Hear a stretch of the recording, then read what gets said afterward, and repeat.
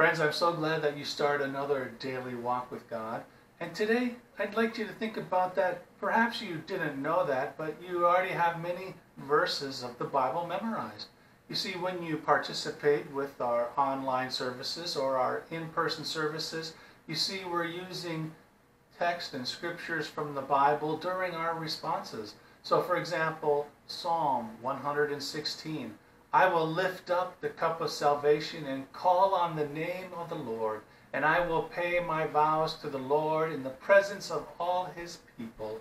You see, friends, when troubled, we do our best to hold on to peace. And what is this cup of salvation?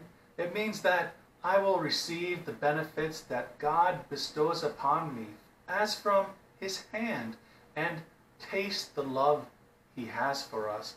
And it's a portion not only of mine inheritance of other world, but it is my cup in this.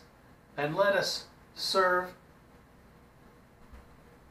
let others rather serve what they will.